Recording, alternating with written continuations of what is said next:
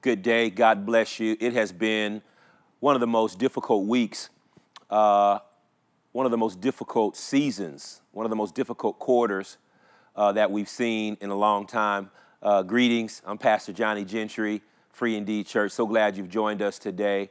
Uh, like me, many of you are probably mentally exhausted. You're probably uh, having a run of emotions, uh, thoughts, feelings um, some of you have cried, some of you have um, cursed, some of you have expressed anger, different kinds of emotions because it's been a tough week uh, and a tough time in our nation. But I, I come by this morning to give you some good news. God was in Christ reconciling the world unto himself. 2 Corinthians 5 and 19. Does anybody sense that amidst all that's going on, that God is reconciling the world unto himself? But get this the scripture says he has not imputed our trespasses against us. In other words, he has not counted our sins against us.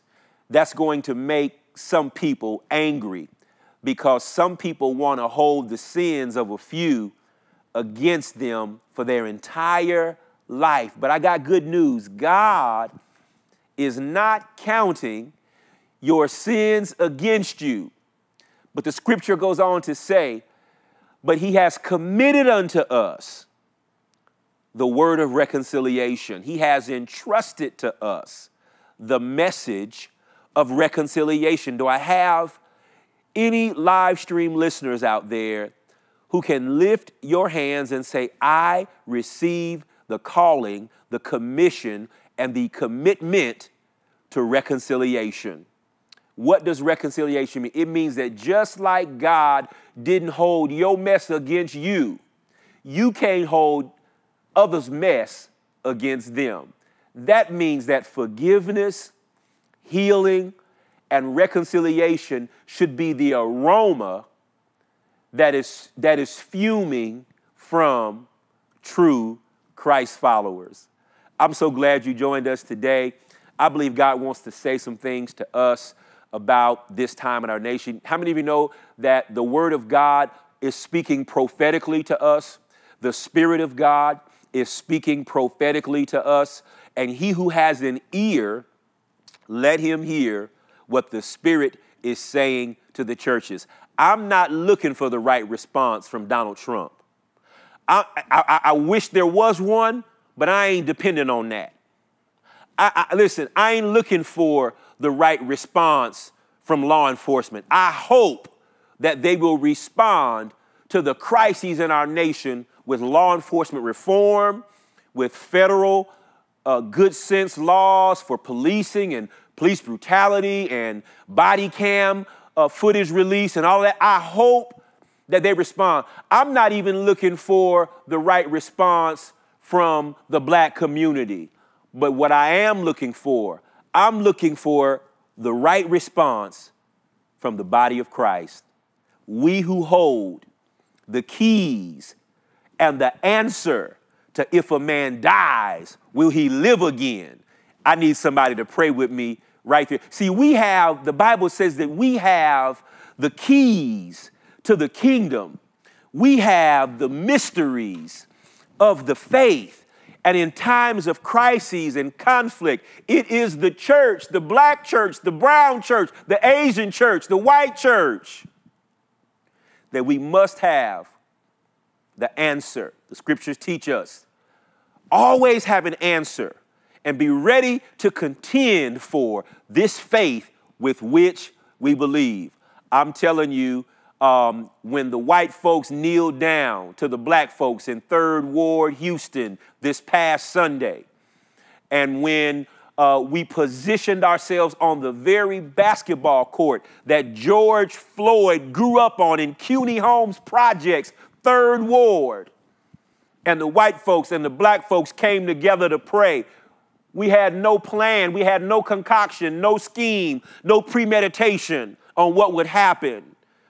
But Trey Nine, my brother, Bobby Harry, Eyes on Me Inc., Johnny Gentry, Free Indeed Church, Community Work CDC, all pastors from white churches, pastors from black churches, urban missionaries, lay people, believers came together on the basketball court in Third Ward, and the white folks kneeled down and said, We just want to repent for generations of systematic racism exacted against the black community.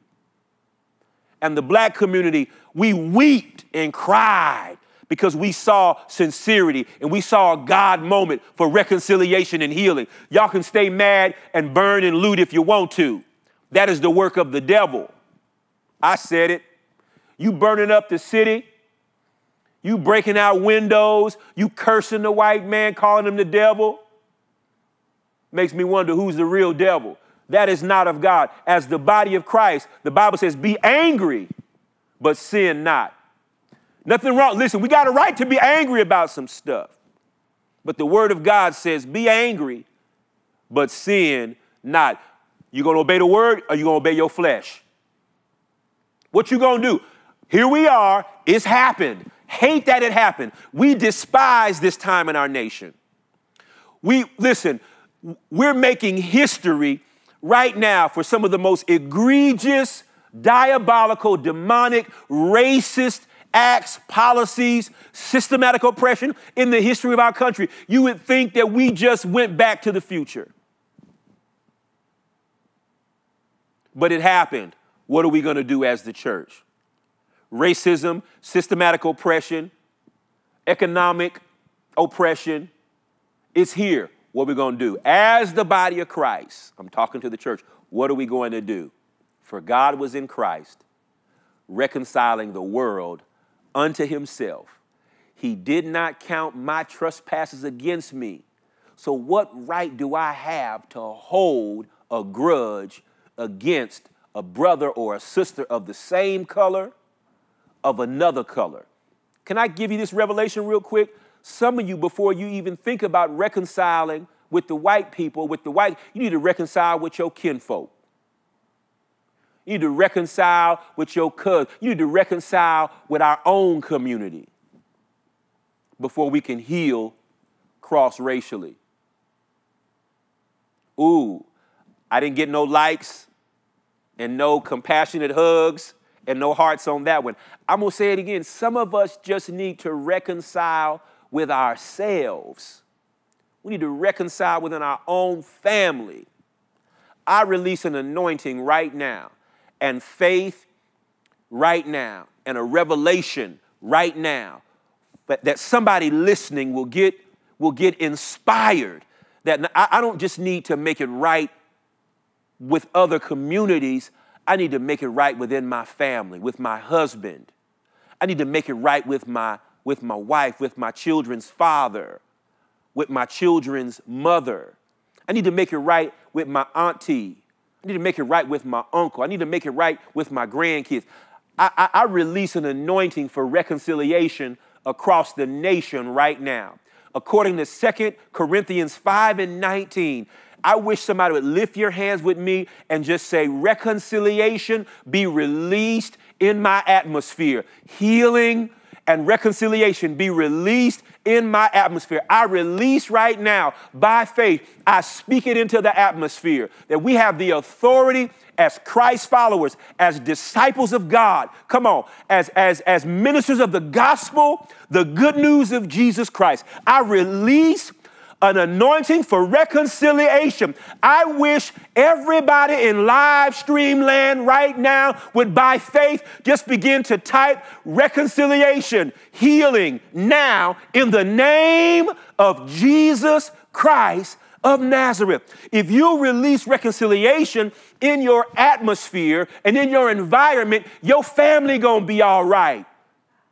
Your neighborhood gonna be all right. I can't get nobody to pray with me. If you just release forgiveness, just like he forgave you, just like when you cheated, when you lied on your income taxes, when you betrayed a spouse, when you did something in your flesh that you shouldn't have done, when you were addicted to pills, when you cursed and put your mouth on people, when you were caught up in your own trespasses, the Word of God says God was in Christ.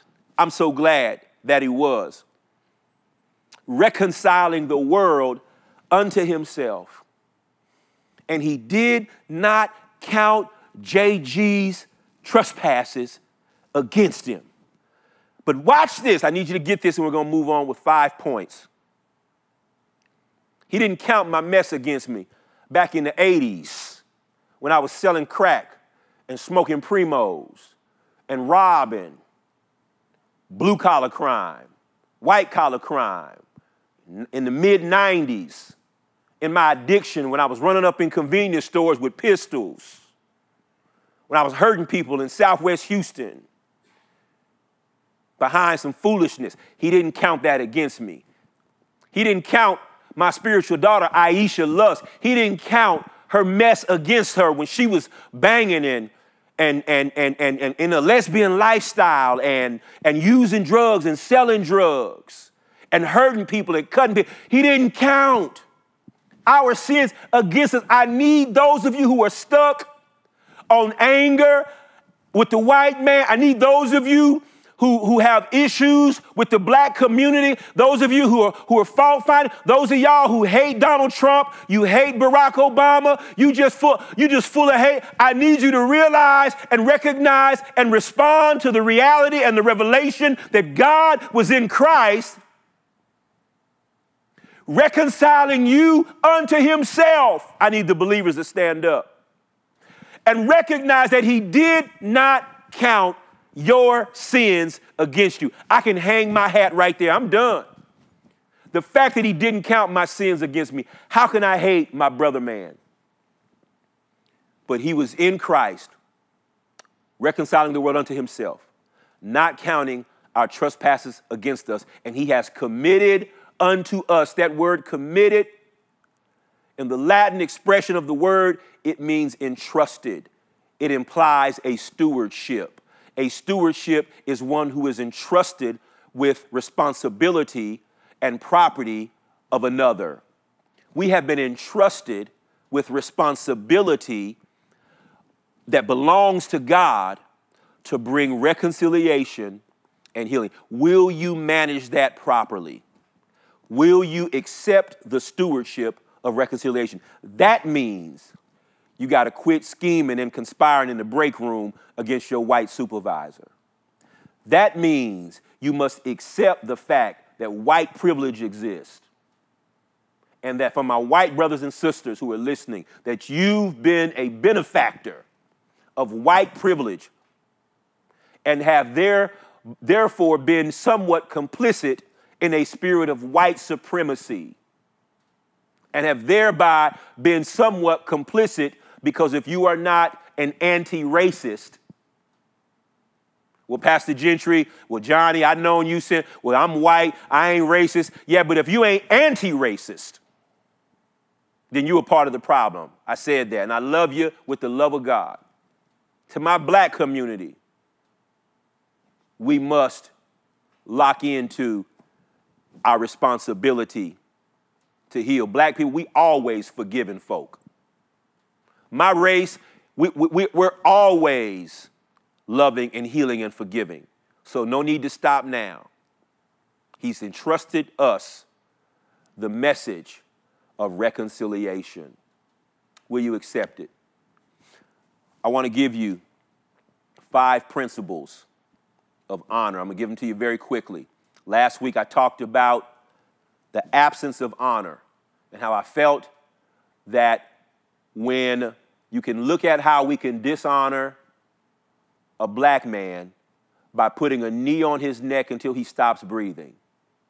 When we can dishonor the black community by stereotyping, profiling, labeling, not listening to and hearing the heart cry of a Colin Kaepernick, when we can blame shift and what, what, what psychologists call uh, transference.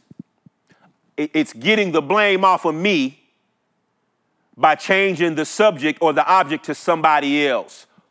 That's what most Americans did when Colin, Ka- when Colin Kaepernick kneeled. They said he's disrespecting the flag. Get a clue. He took a knee to protest black police brutality against African Americans, killings of unarmed black men and women, Sandra Bland and Mike Brown and all of them. And he took a knee as a peaceful, ain't that what y'all want? A peaceful protest against the pathology in our nation that black people are all too familiar with, all too terrified by, all too traumatized by.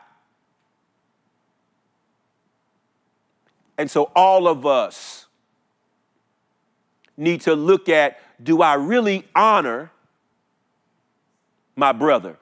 Because if you honor me,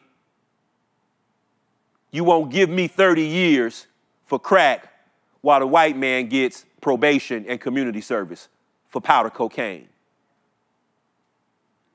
If you, uh, okay, y'all don't like me today. If you honor me, you won't discriminate against me with a 650 credit score and decline my home mortgage loan.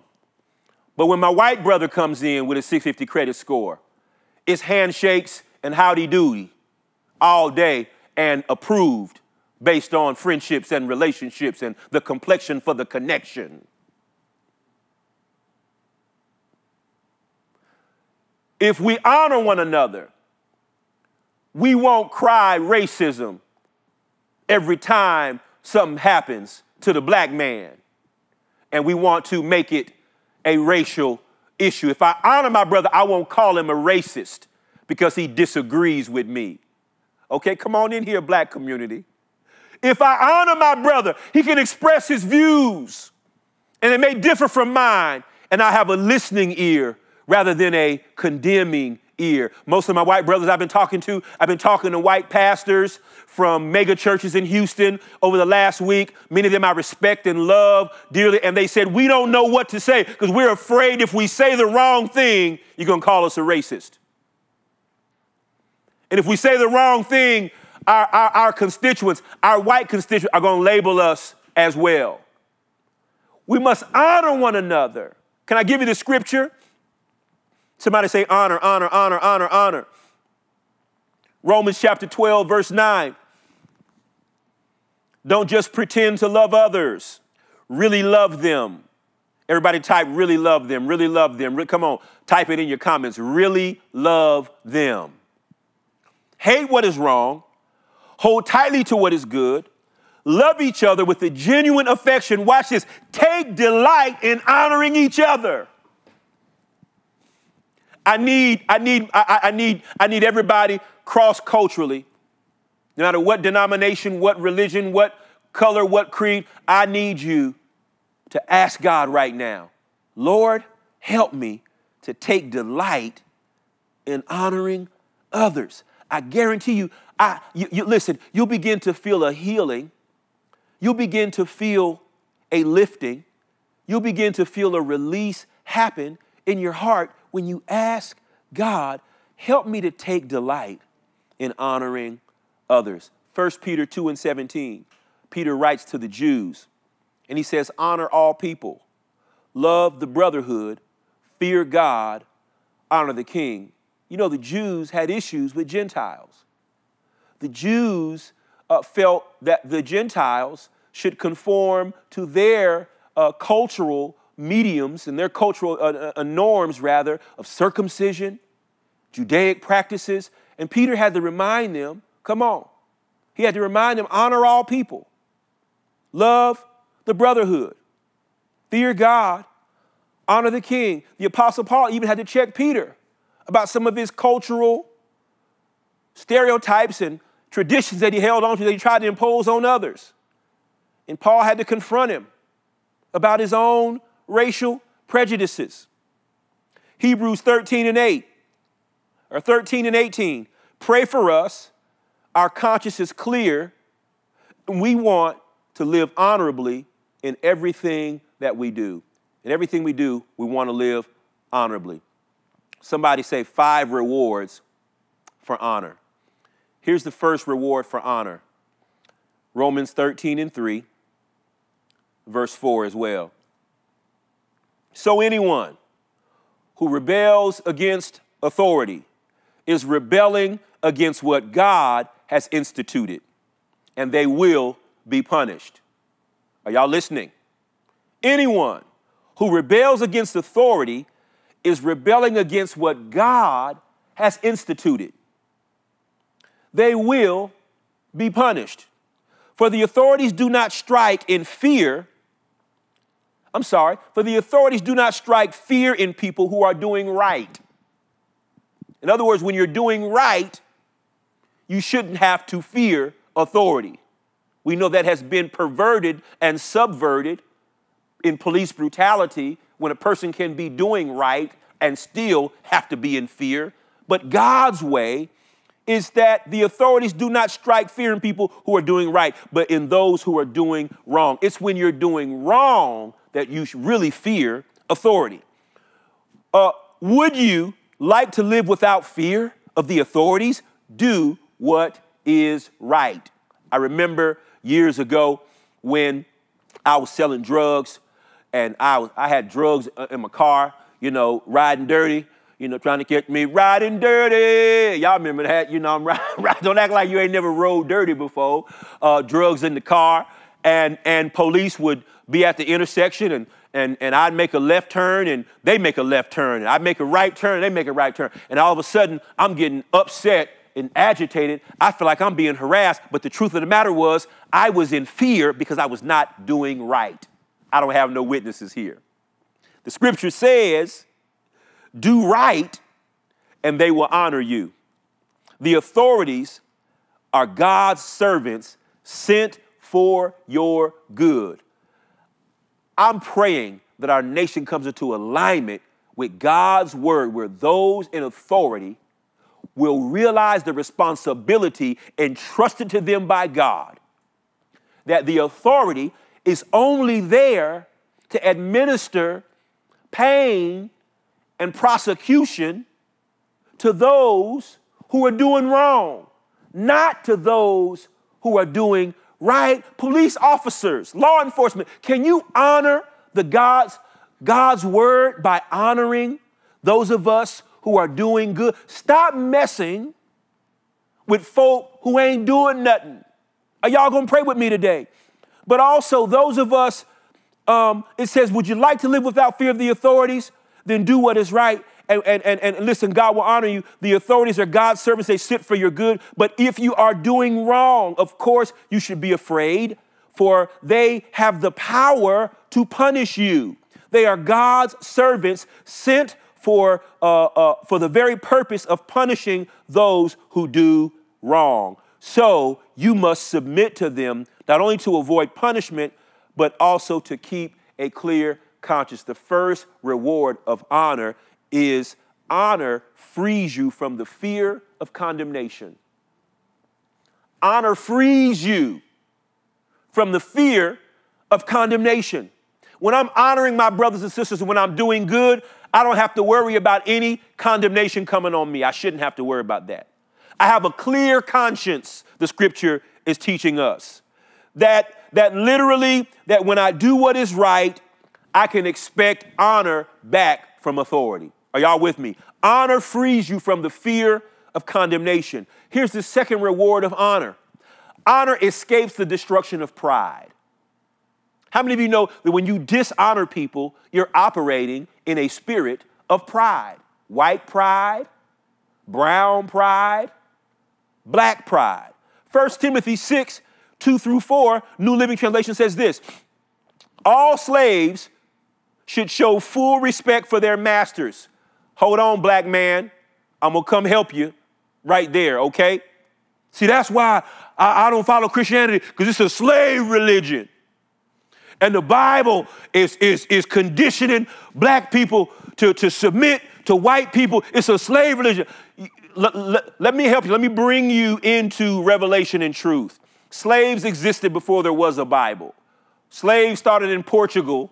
Slavery was there in all different cultures. This is simply applying to a order. It's the principles that God wants you to get, not that we are to remain as slaves. It is the principles. Today's slaveholders could be likened unto your supervisor on your job. Y'all gonna pray with me? Don't get caught up behind the cultural and social implications of the scripture and context and miss the spiritual revelation that God has for you. Are y'all with me today? All slaves should show full respect for their masters so they will not bring shame on the name of God and his teaching. Watch this. And if the masters, if your supervisor, if the law enforcement officer, if your governor, if whomever, um, if they are, watch this, if they're believers, that is no excuse for being disrespectful.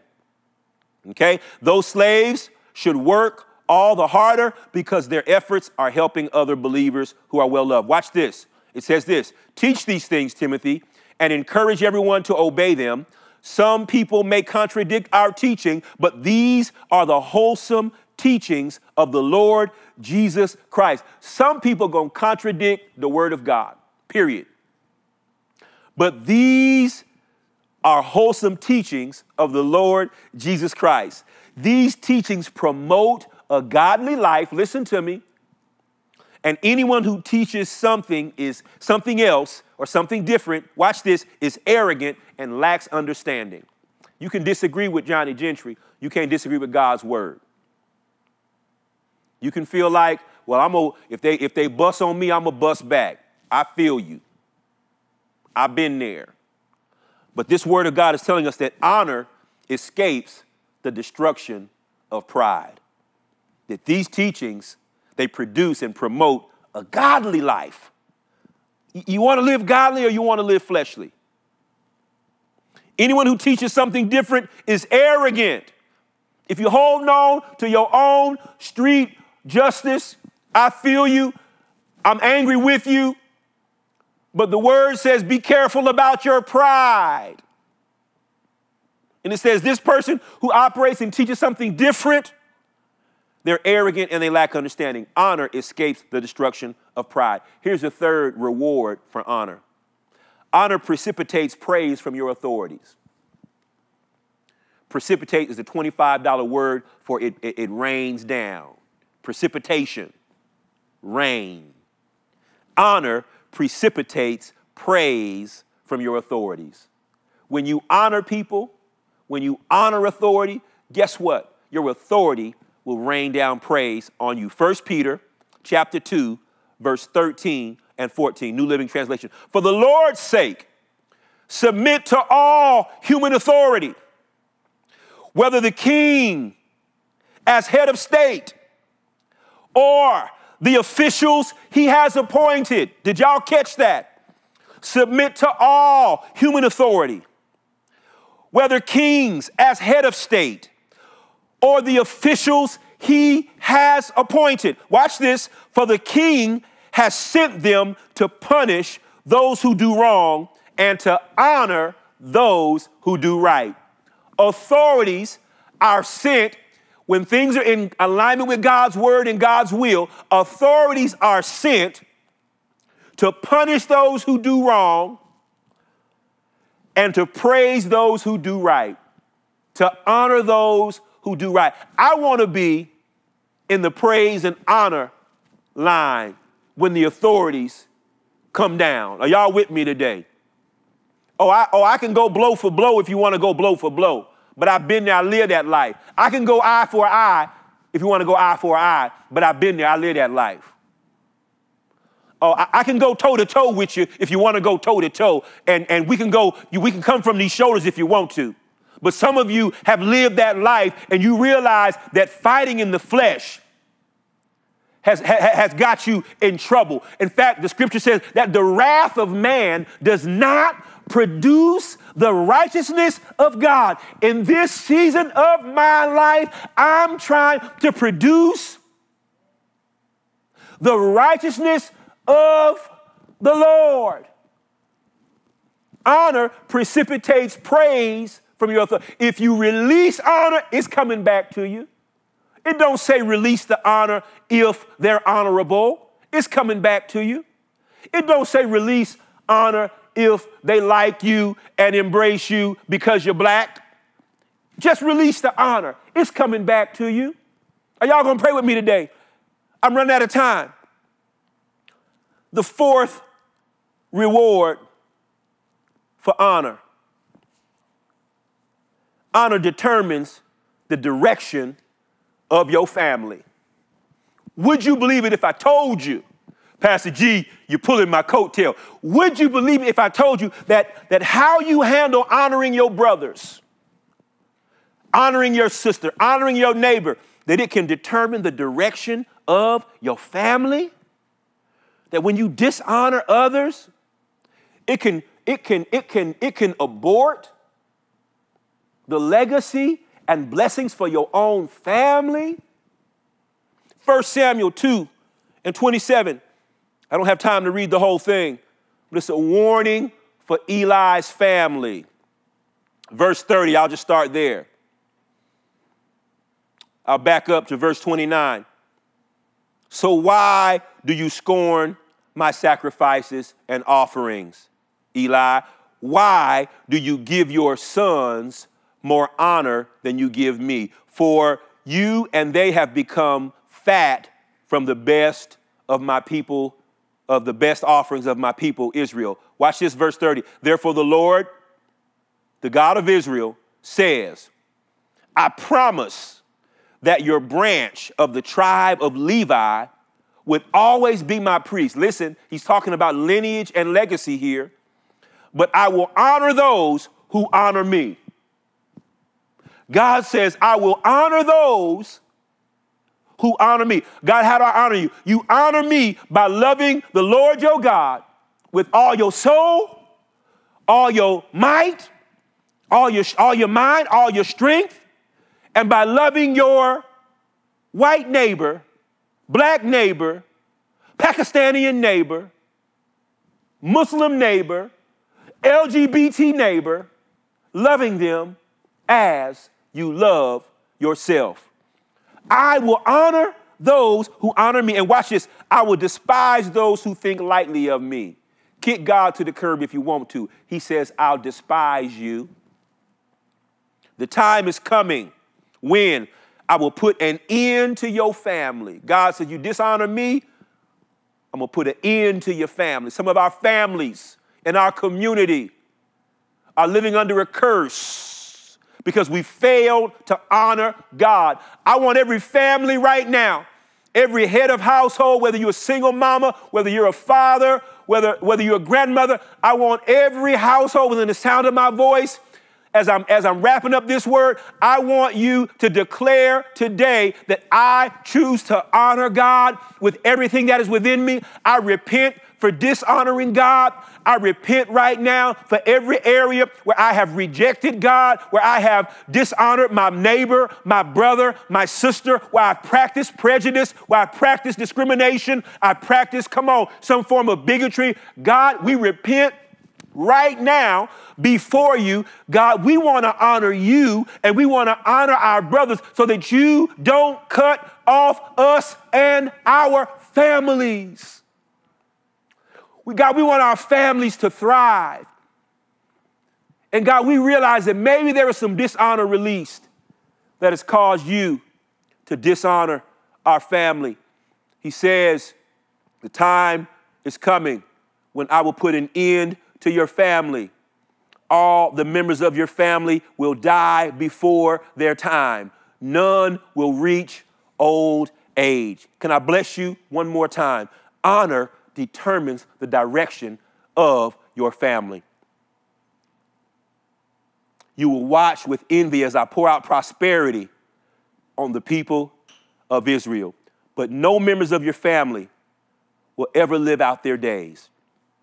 The few not cut off from serving at my altar will survive. Woo!